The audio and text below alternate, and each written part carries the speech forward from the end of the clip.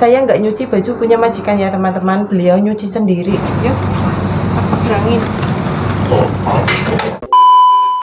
halo assalamualaikum. Apa kabar semuanya? Jumpa lagi dengan saya.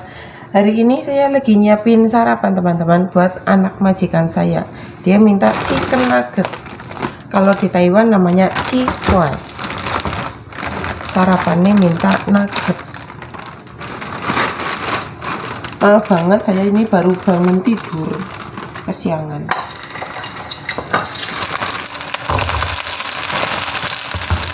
Untuk goreng nugget saya di sini pakai minyak sedikit banget ya teman-teman. Itu atas permintaan dari majikan. Jadi saya gorengnya itu pakai api sedang supaya mateng.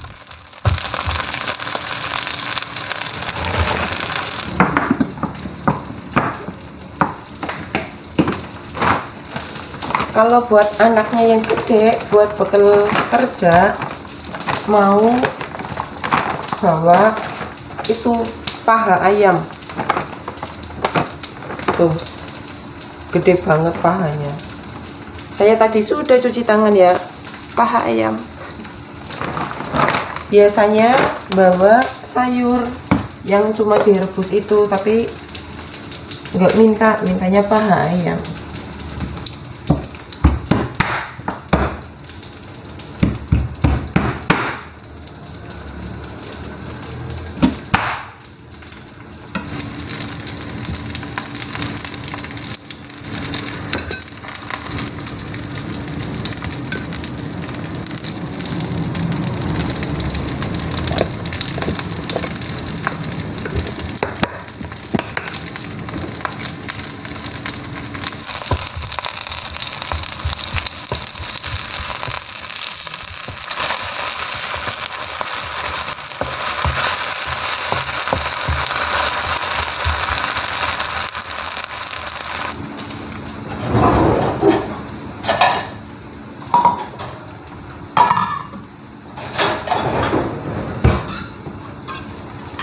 mangkok buat dibawa ke sekolahan. Digunakan untuk makan siang. Soalnya harus bawa mangkok sendiri dari rumah. Sama air minum.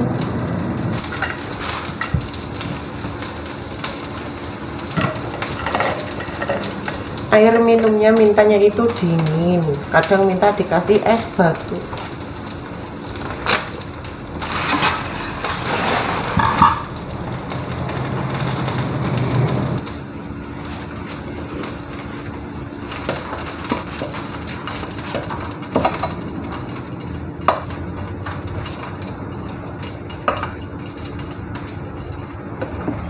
biasanya ditaburin pakai merica bubuk.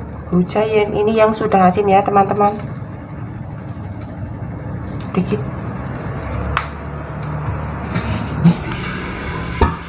Sarapan.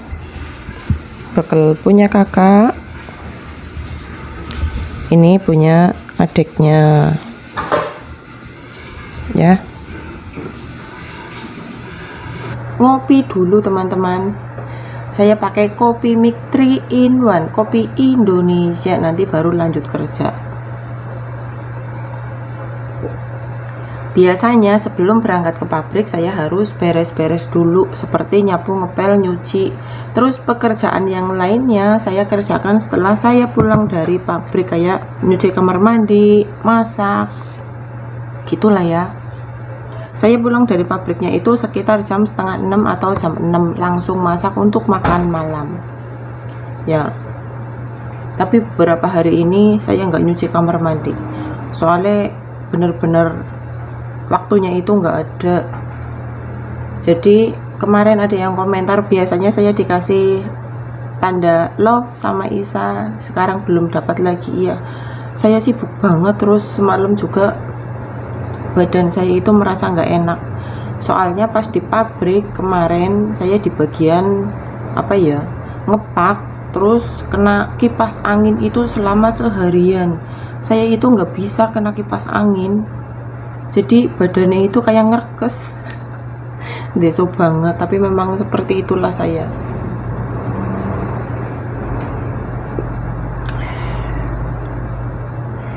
Nyuci piring numpuk pekerjaan sudah menunggu. Saya biasanya kalau sudah ngopi kalau mau sarapan lagi saya beli.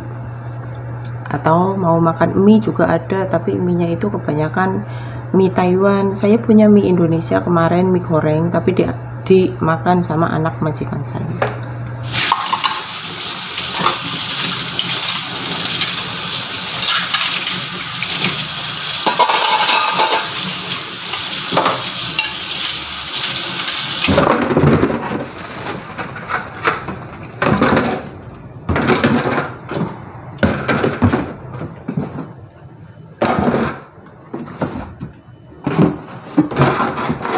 saya punya barang bekas banyak.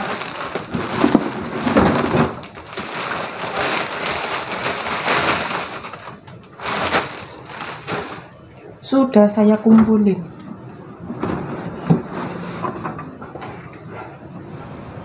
Nah, untuk barang bekas biasanya saya kumpulkan dulu. Kalau misalnya barangnya sudah banyak, baru saya kasihkan ke orang yang lebih membutuhkan. Karena kalau di Taiwan itu barang bekas bisa laku untuk dijual, walaupun itu harganya sangat murah. Tapi banyak sekali orang yang mencari barang bekas seperti ini.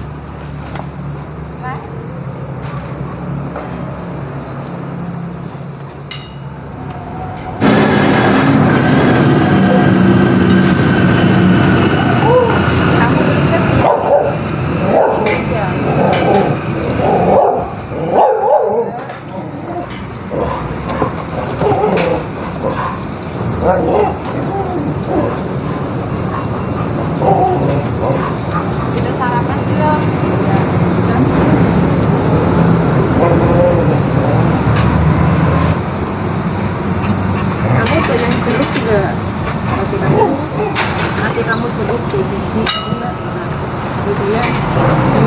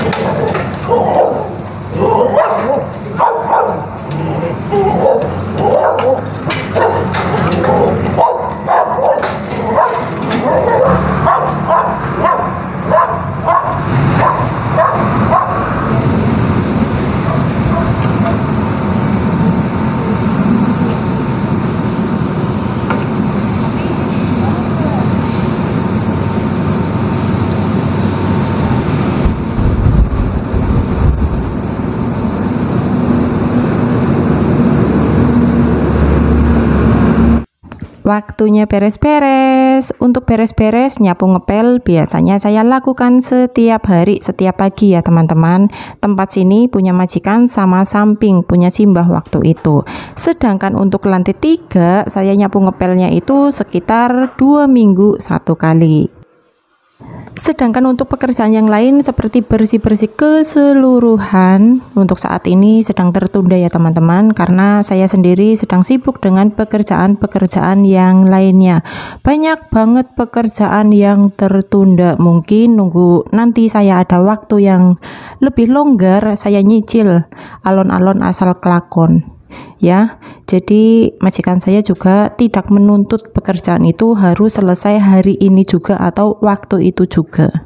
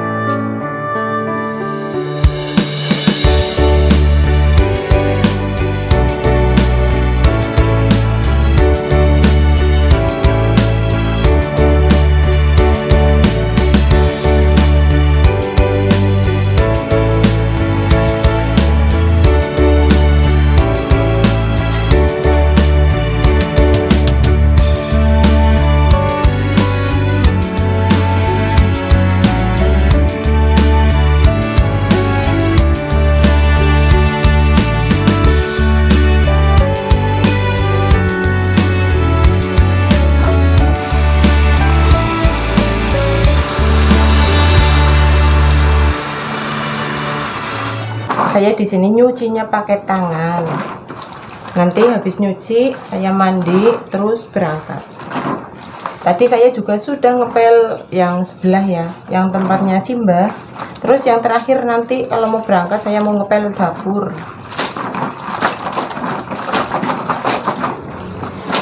Saya nggak nyuci baju punya majikan ya teman-teman. Beliau nyuci sendiri. Terus saya nyucinya itu baju punya saya sama anaknya yang gede-gede dua tapi kebetulan hari ini nyucinya cuma sedikit ya